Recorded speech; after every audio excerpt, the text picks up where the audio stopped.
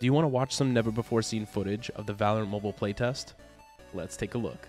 Alright guys, now before we begin, I do want to give a huge shout out to Danny Intel on Twitter and on YouTube. He's the individual who actually provided to us some of this leaked information here, and specifically the full unseen gameplay that we're about to take a look. Now Danny is also a huge leaker when it comes to Warzone Mobile and some other mobile titles, so do make sure to give Danny a follow and support him as well. So without further ado, let's go ahead and get into it. Alright, so we're at the loading screen. Now, I believe looking at some initial preview from what I saw, uh, this may be gameplay from the map Ascent, and I think this is the specific gameplay of Breach. Now, we did see this before earlier. We did see a. Um, all right, so selecting team deathmatch and we're going into the queue. So we did see something like this before, uh, but it was only I think it was like a 13 second clip. Um, and you know, I believe if this is correct, there we go, ascent. 10 people to accept. Now, if I if I am correct, this is the same gameplay that I'm thinking about before. The enemy team may have a Skye. I'm not entirely sure yet. It's breach. All right.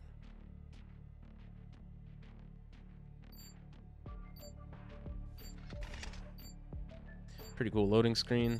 And here we go. All right, so this is not the same gameplay. No, it is. There's a Skye on the on the team here. So on the enemy team. So we did kind of see this before, but like I said, this was only a 13 second clip before on Twitter. But this is actually the full six minute gameplay clip here. Oh, look at that little tutorial here about the spike. So you can pick up the spike, and I'm assuming that little spike icon is it tells you uh, when you're if you or your teammate I think has the spike buy menu. Pretty standard. We've seen this before. Alright. So trying to take a look at some of the UI elements here. We've got all the abilities on the right-hand side. We have jump, we have crouch, we have walk. Uh, the knife next to reload. Mini-map on the top right. I'm curious if this person right here is playing three-finger. Or they could be playing claw. Four finger claw. Phoenix just gets wiped out.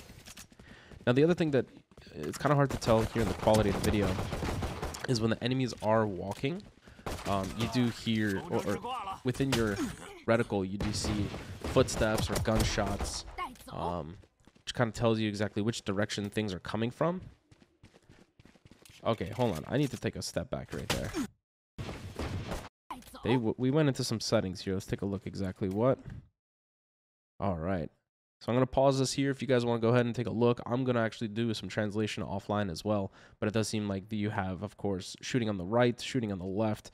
Uh, and it seems like you can have the, the third option there as well. Oh, missed that one, but all right. And then some more settings here. Let's just continue on. I'm not going to keep pausing here. Sensitivities, it seems like crosshair settings. Um, not too bad. So anyway, as I was saying, guys, there is a reticle status that tells you where people are, if they're in front of you, behind you. As you can see right above, it's kind of hard to see. It's uh, very lightly gray. Um, I'm not sure if that's something that the community will like. I mean, we don't have that on PC.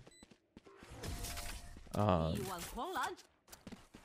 they, they, they literally just diffused it full stack team and they just completely let him defuse it. Cool.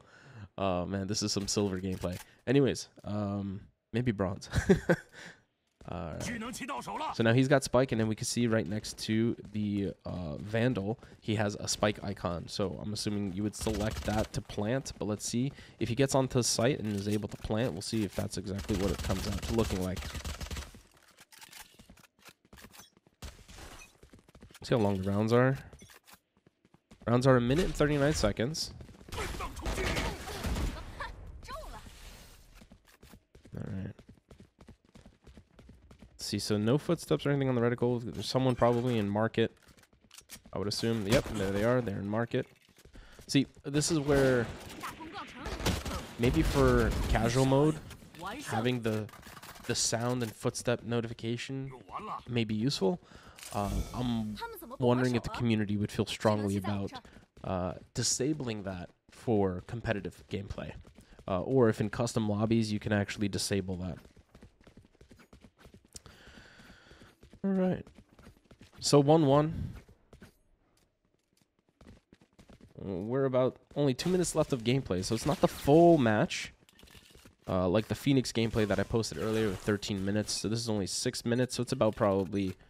Uh, oh, there's a lot of people. B. Oh, he's getting the clean out right there. 21 HP going around to B site. Phoenix definitely fell back. Phoenix right there with an operator just got destroyed. Why am I shoutcasting this? Sorry, guys. Yeah, cool. all right, all right. So pretty cool to see, man. Ascent is actually one of my favorite maps uh, in Valorant, uh, and it's really great to see it here in mobile. Seems pretty standard. I want to say almost a one-to-one. -one. We won't really know until we actually start digging into more of the actual maps. So two to one. This is the fourth round here. Yeah, same. This, so the quick buy menu, and then we have the full buy menu there, with uh, you know all the individual guns. Um, I personally am a huge fan of that. I think that is great. Um, you know, some uh, it would be really cool if you can set that configuration. For example, you know you have X amount of currency for you to specifically set up certain buy presets, not only for your personal account but also for the agents that you're playing. That'd be pretty cool. All right, so now we, we're finally seeing some operator gameplay. I know a lot of people were asking about this. We see tons of rifle, vandal, and phantom gameplay, but now we have operator gameplay. So let's go ahead and see exactly how this turns out. Really interesting strat running onto site. Someone is on site behind him. It's Brimstone, and you know, we did not get any operator gameplay. no operator gameplay for us. So the good thing here, which I already like, there is no spray and pray. Unlike in you know a certain game called Hyperfront, you could basically run around and spray and get headshots. Does not seem that looks different. Window window to a cat looked way different. All right.